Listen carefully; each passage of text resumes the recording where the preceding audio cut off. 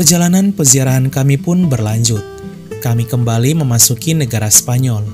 Pada episode sebelumnya kita sudah mengajak sahabat Katolik Ukren berziarah ke Barcelona dan Montserrat.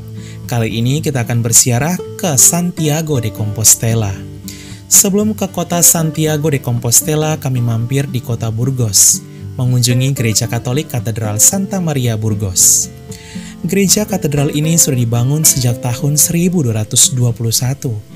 Uniknya, di dalam gereja katedral ini terdapat 17 kapel sekaligus di dalamnya, sehingga ketika kita masuk di dalamnya, terdapat banyak altar kapel di dalamnya yang dibagi ke dalam setiap ruang.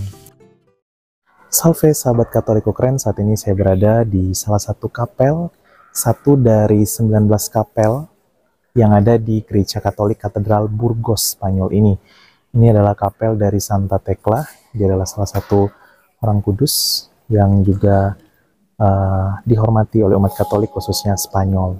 Dan di sini terdapat juga salah satu pahlawan yang terkenal yaitu El Cid. Dia menaklukkan pasukan muslim yang datang menjajah Spanyol kala itu dan akhirnya dia bisa mengembalikan kekatolikan yang ada di negara Spanyol ini berkontribusi dalam uh, mengembalikan nilai-nilai iman Katolik di negara Spanyol. Oh iya, berbicara tentang Santa Tekla, dia itu adalah salah satu sosok kudus yang pernah uh, dimasukkan ke dalam kandang yang buas, namun hewan-hewan tersebut tidak menerkamnya.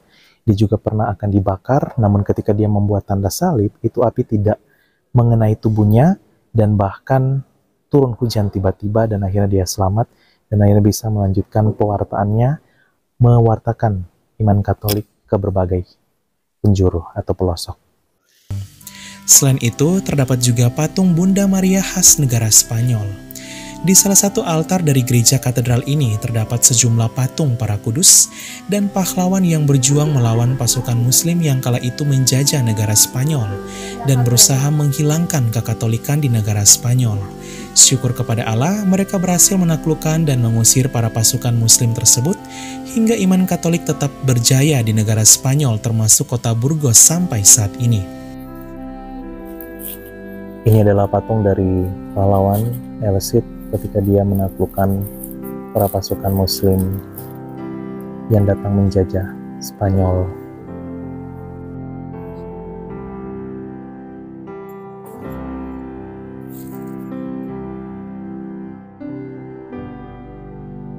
Ini adalah kapel dari Santa Tekla dan uniknya gereja-gereja di Eropa itu kebanyakan beda sama Indonesia nih. Kalau Indonesia kan kita masuk ya udah satu gereja aja gitu.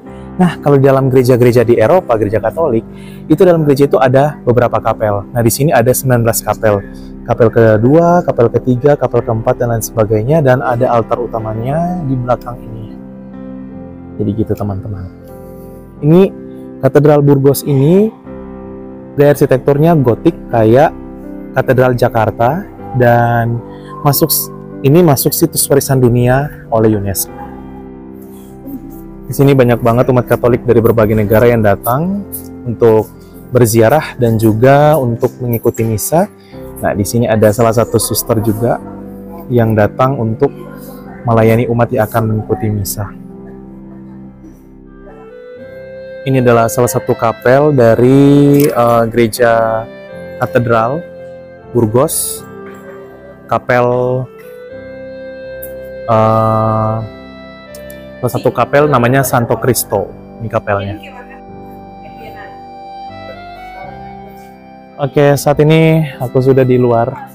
Oh ya, sahabat Katoliko keren. Kalau di Eropa itu pakai kacamata hitam ini buka, bukan buat gaya, gaya ya, tapi memang untuk melindungi mata dari sinar cahaya matahari. Memang karena mengapa? Karena di Eropa itu sangat panas. Panasnya itu mengalahkan panasnya Indonesia, makanya harus pakai kacamata nih. Ini gerejanya, depannya bagus banget. Dan di sini itu ada air mancur, di atasnya ada patung Bunda Maria. Keren banget guys, Katoliko keren.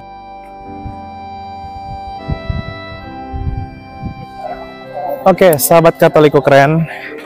Jadi katedral ini menjadi bukti bahwa dulu kekatolikan terus diperjuangkan dan dipertahankan karena mendapat serangan dari pasukan muslim kalau tidak salah antara Ottoman atau bangsa Arab yang datang menjajah Spanyol kala itu dan katedral ini menjadi bukti peninggalan cerita sejarah tersebut di mana ada sosok pahlawan Spanyol dan juga para kudus yang berjuang untuk mempertahankan iman Katolik.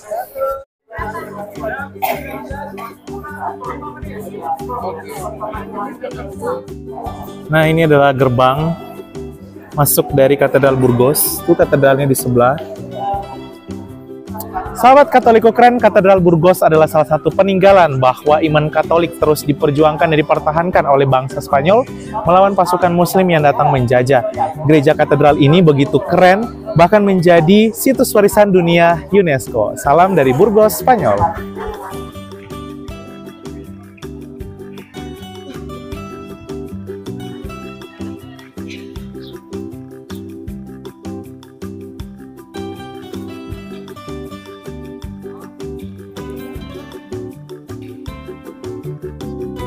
Usai mampir di kota Burgos, kami melanjutkan perjalanan menuju kota Santiago de Compostela. Ini merupakan salah satu kota terkenal di negara Spanyol. Di kota ini berdiri gereja Katolik Katedral Santiago de Compostela. Gereja katedral ini sudah ada sejak tahun 1211. Di dalam gereja katedral inilah terdapat makam dari salah satu murid Tuhan Yesus, yaitu Rasul Yakobus anak Zebedeus, atau yang biasa disebut sebagai Santo Yakobus tua untuk membedakannya dengan Santo Yakobus muda anak Alfeus. Menurut tradisi, Rasul Yakobus tua menjadi rasul yang paling berjasa dalam mewartakan Injil hingga ke negara Spanyol dan Portugal. Di kota inilah makamnya berada. Hola, salve sahabat Katoliko keren. Saat ini kita berada di Santiago de Compostela, Spanyol. Dan di Santiago de Compostela ini, katedralnya itu terkenal dengan uh, yang namanya Camino, yaitu para peziarah dari berbagai negara. Mereka itu akan berziarah dengan rute yang telah ditentukan itu sekitar 5 sampai 8 titik dan akan menuju katedral ini.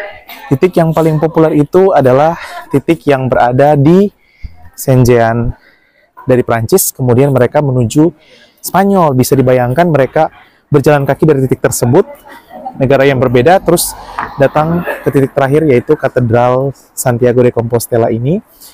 Sejauh ya kalau dihitung per hari itu bahkan bisa satu bulan mereka berjalan kaki bersiarah dan dipersembahkan khusus untuk Santo Yakobus tua dan gereja ini juga menjadi lokasi dari makam salah satu rasul Tuhan Yesus yaitu Santo Yakobus tua dan bagi para peziarah yang berhasil berjalan kaki sejauh yang terjadi 790 km dari titik yang ditentukan ke Katedral Santiago de Compostela ini mereka akan mendapatkan sebuah sertifikat dan juga berkat. Yang tentunya doa-doa dari Santo Yakobus tua tersebut. Di Katedral Santiago de Compostela ini terdapat sebuah tradisi kuno yang unik loh, bernama Camino, di mana para peziarah yang mengikuti Camino akan berjalan kaki dari lima titik yang telah ditentukan, dan semuanya akan berakhir di gereja Katedral Santiago de Compostela ini. Salah satu titik yang terkenal ialah Camino Prancis, di mana para peziarah akan berjalan kaki dari Santo Jean Pied de Port di negara Prancis menuju makam Rasul Yakobus di Katedral Santiago de Compostela Spanyol sejauh 790 km. Wah, bisa kita bayangkan ya perjuangan mereka dari negara Prancis menuju negara Spanyol hanya berjalan kaki, bisa mencapai sebulan lebih. Jauh banget ya, di sinilah letak keunikan tradisi Camino itu. Jika para peziarah berhasil, maka mereka akan mendapat sertifikat dan juga berkat khusus doa dari Santo Yakobus. Selain itu, keunikan yang dapat kita jumpai saat bersiarah ke Katedral Santiago de Compostela ini ialah simbol kerang yang bertebaran, Ya, kerang-kerang ini merupakan simbol dari Santo Yakobus. Sehingga di sekitar katedral ini ada banyak sekali barang rohani Katolik, baik rosario maupun salib yang memiliki unsur kerang di dalamnya. Bahkan juga terdapat tongkat kerang yang dipakai oleh para peziarah Camino untuk berjalan kaki. Nah ini adalah alamat atau petunjuk arah dari katedral, Gereja Katolik Katedral Santiago de Compostela, Spanyol. Kalian pasti pernah melihat video wiruk yang sangat panjang itu. Nah itu berada di Gereja Katolik Katedral Santiago de Compostela, Spanyol ini. Jadi wiruk tersebut uh, merupakan ciri khas dari katedral ini juga. Dan beratnya itu sekitar 53 kg. Dan dipakai secara khusus untuk uh, perayaan-perayaan khusus gitu.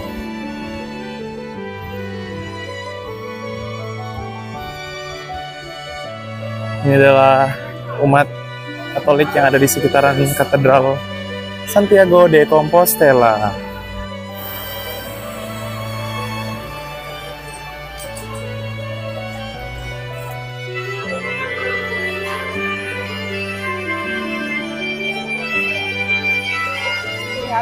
Ini adalah Katedral Santiago de Compostela. Sangat keren. Lokasi makam dari Rasul Yakobus tua.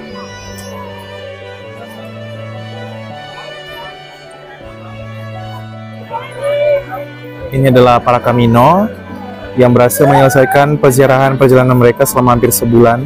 Berjalan kaki dari jarak terjauh itu perbatasan Prancis Spanyol menuju uh, Katedral Santiago de Compostela bahkan bisa sebulan.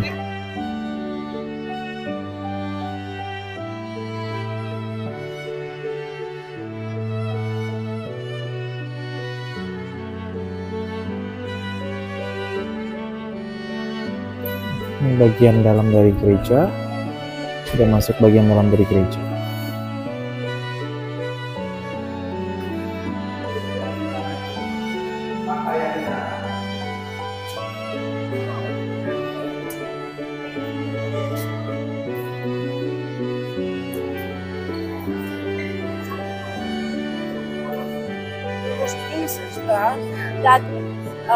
Was the biggest one. But it isn't. I am one meter and sixty. It's like this. Yang terbesar dunia. We put incense inside and candle and eight lamps. See. So now we go to see the famous. Nah ini adalah wiruk terpanjang itu, teman-teman, sahabat kekal diayunkan dari sini ke sebelah situ. Them go all over the world and preach the gospel. Okay. When Ini adalah pintu dari Santo Yakobus, nanti akan dibuka lagi tahun 2027. is there. Terakhir dibuka tahun 2021.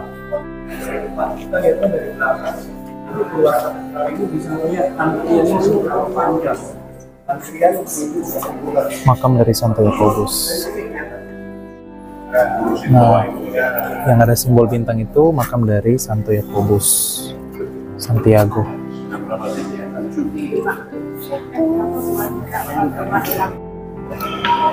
Nah, di Katedral Santiago de Compostela ini terdapat wiruk yang tadi, yang besar dan panjang itu. Nah, ini dia. Ini adalah antrian untuk masuk ke makam Santo Yakobus. Nah, ini adalah Katedral Santiago de Compostela. Keren banget ya, guys. Nah, ini adalah Santo Yakobus patungnya. Di tengah-tengah itu adalah Santo Yakobus.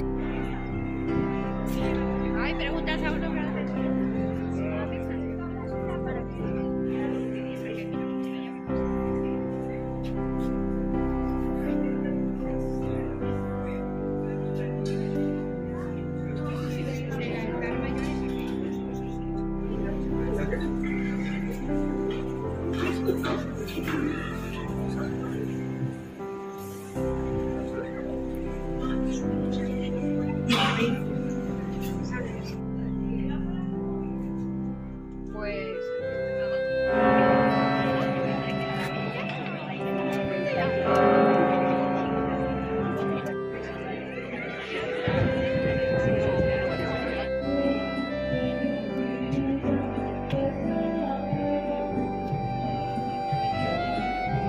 Salve sahabat Katoliko keren berkunjung ke Gereja Katolik Katedral Santiago de Compostela merupakan salah satu yang wajib kalian kunjungi karena ini merupakan salah satu gereja yang terkenal di negara Spanyol atau negeri Matador. Seperti biasa jangan lupa mampir di toko rohani yang ada di gereja tersebut. Nah, di mana Santo Yakobus itu terkenal dengan kerang. Tuh lihat. Ada patung Santo Yakobus di sini dan berbagai macam rosario khas kerang. Mampir di toko rohani Katedral Santiago de Compostela, Spanyol. Keren banget guys, ini ada banyak kerang-kerang simbol dari Santo Yakobus. Sahabat Katoliko keren sampai di sini dulu peziaran kita episode ke-11 yaitu Santiago de Compostela. Selanjutnya kita akan menuju kota terakhir yaitu Madrid. Sampai jumpa ya. Ya Rasul Yakobus tua, doakanlah kami. Salve.